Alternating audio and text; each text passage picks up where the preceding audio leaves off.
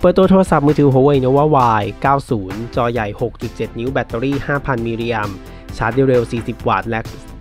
ชิปเซตเป็น Snapdragon 680 ครับ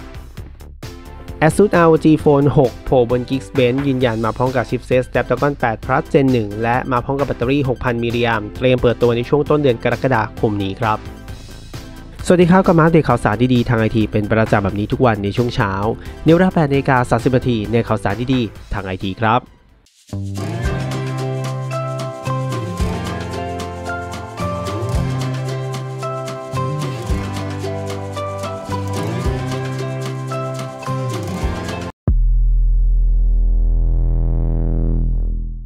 รับชมข่าวสารนั้นฝากเพื่อนกดถูกใจ กดไลค์ กดแชร์ กด Subscribe ช่องของเราด้วยนะครับ เพื่อจะให้พลาดข่าวสารที่มาเดตแบบนี้เป็นประจำทุกวัน หลังจากที่ Huawei Nova Y 70 มีการเปิดตัวนะครับ แล้ววางจำหน่ายไปสักพักหนึ่ง Huawei ก็ได้มีการเปิดตัวอีกรุ่นหนึ่งตามมาติดๆนะครับ คือ Huawei Nova Y 90 ซึ่งมีการอัปเกรดในเรื่องของคุณสมบัติต่างๆ ให้ทันสมัยแล้วก็ใช้งานได้ง่ายมากยิ่งขึ้นด้วย Huawei Nova Y 90 ยังคงนำจุดเด่นในเรื่องของสเปคแบตอึดชาร์จเร็วนะครับมาใช้ในรุ่นนี้นะครับมีการปรับดีไซน์ให้เข้าเทรนด์กับมือถือในปัจจุบันหน้าจอเป็น LCD ขนาด 6.7 นิ้วความเร็ว Full HD Plus การแสดงผล 16.7 ล้าน4นะครับภายในขับเคลื่อนด้วยชิปเซต Snapdragon 680 CPU เป็น Adreno 610 ครับนับว่าเป็นชิปเซตที่มีประสิทธิภาพที่สูงอยู่พอสมควรเลยทีเดียว ถ้าเทียบมือถือระดับกลางด้วยกัน พร้อมด้วยหน่วยความจำนะครับ RAM 8 g b ROM 128 กับแบตเตอรี่ที่อึดถึง 5,000 มิลลิแอมและรองรับการชาร์จที่เร็ว Huawei Supercharge 40 วัตต์ด้วยด้านการถ่ายภาพครับ Huawei Nova Y 90 เนี่ยจะมาพร้อมกับกล้องหลัง 3 ตัวครับ ประกอบไปด้วยกล้องเลนส์หลัก 50 ล้านพิกเซล macro 2 นะครับแล้วก็กล้องเพิ่มเติมอีกตรงหนึ่งตัวเนี่ยคือ 2 ล้านพิกเซล แต่ยังไม่ได้ระบุนะ ส่วนในส่วนของกล้องหน้านะครับ 8 ล้านพิกเซล นอกจากนี้นะครับ Huawei Nova Y 90 ยังรองรับการเชื่อมต่อ Wi-Fi นะครับ เครือข่าย 802.11 ความเร็ว 2.4 GHz นะครับ Bluetooth 5.0 USB Type C 2.0 หูฟัง 3.5 มิลก็มีมาให้ Huawei Nova Y 90 มีให้เลือก 4 สีครับ ได้แก่ Crystal Blue Pearl White Emerald Green นะครับ แล้วก็มี Night Black โดยมีความจุเพียงความจุเดียวนะครับ คือ RAM 8 g b โดยความจำ128 ยังไม่มีกำหนดการวางจำหน่ายรวมถึงราคาด้วยนะครับ ตอนนี้ยังมีการเปิดตัวอยู่ในประเทศจีนนะ ส่วนรุ่นนี้เข้ามาวางขายนอกประเทศจีนหรือเปล่า เดี๋ยวไว้มาอัปเดตให้ทราบกันอีกครั้งหนึ่งนะครับ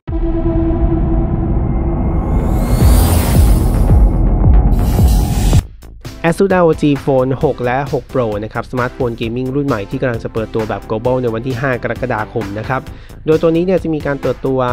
ข้อมูลออกมาเพิ่มเติมนะครับว่า ROG Phone 6 ตัวนี้ได้ผ่านการทดสอบบน Geekbench แล้วนะครับเป็น benchmark ในต่างประเทศทำให้เราสามารถยืนยันสเปคบางส่วนของมือถือรุ่นนี้ได้นะครับ อันแรกก็คือ ROG Phone 6 รหัสโมเดล AI 2201 underscore F นะครับ ได้ผ่านการทดสอบ Geekbench ด้วยคะแนน Single Core 1,323 คะแนน มัลติคอร์ 4,238 คะแนน โดยนำมาทดสอบด้วยหน่วยความจำ RAM 16 g b Android 12 ชิปเซตที่ใช้เป็นรหัส Taro นะครับ ซึ่งน่าจะเป็น Snapdragon 8 Plus Gen 1 นะครับ CPU Adreno 730 รุ่นใหม่ล่าสุดสำหรับในส่วนของสเปคเนี่ยรายงานระบุว่า ROG Phone 6 รุ่นมาตรฐานนั้นจะมีหน้าจอแสดงผลเป็นแบบ OLED นะครับ 6.78 นิ้ว Full HD Plus Refresh Rate 165 Hz chipset เป็น Snapdragon 8 Plus Gen 1 RAM 18 GB แบตเตอรี่ 6,000 มิลลิแอมป์การชาร์จที่เร็ว 65 วัตต์ กล้องด้านหลังนะครับเลนส์หลัก 64 ล้านพิกเซล คาดการณ์ว่าจะมีคุณสมบัตินะครับ gaming phone ครบครันลำโพงสเตอริโอ ระบบระบายความร้อน VC Cooling นะครับและปุ่ม Shoulder Trigger และอื่นๆอีกด้วยนะครับ นอกจากนี้เนี่ยจะมีการเปิดตัว ROG Phone 6 และ 6 Pro แน่นอนว่าจะมีอุปกรณ์เสริมชุดใหญ่เลยนะครับ แต่จะมีหน้าตาราคาประมาณเท่าไหร่ ต้องรออัปเดตเพิ่มเติมในส่วนนี้นะครับ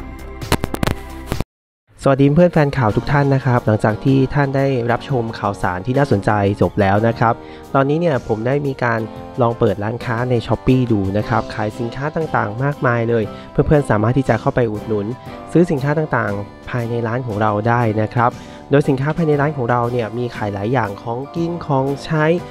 ทั่วไปเลยนะครับ สามารถเข้าไปอุดหนุนกันได้ ขนมนมเนยมีเยอะแยะเลย โดยเพื่อนสามารถที่จะสแกน QR code ที่เราโชว์ไว้ ที่บริเวณด้านหน้าจอนะครับ หรือว่าเลือกลิงก์ร้านค้าผ่านใต้คลิปนี้ได้ด้วยเช่นเดียวกันครับ ไปอุดหนุนกันเยอะๆนะ และทั้งหมดนี้แหละครับ ก็คือข่าวสารดีๆทั้งหมดที่เรานำมาอัปเดตกันในช่วงเช้าวันนี้ ก่อนจากกันไปนั้นอย่าลืมกดไลค์เพื่อเป็นกำลังใจให้กันนะครับ กด subscribe เพื่อตามข่าวสารดีๆ รีวิวดีๆ และคอนเทนต์ของเราต่อไปนะครับ ช่องของเรามี Facebook Fanpage แล้วผมทิ้งลิงก์ไว้ใต้คลิปนี้เข้าไปกดติดตามกันได้นะครับสำหรับคลิปนี้นั้นต้องขอตัวลาไปก่อน และกลับมาอัปเดตข่าวสารดีๆแบบนี้กันได้ใหม่เป็นประจำในพรุ่งนี้ สวัสดีครับบ๊ายบาย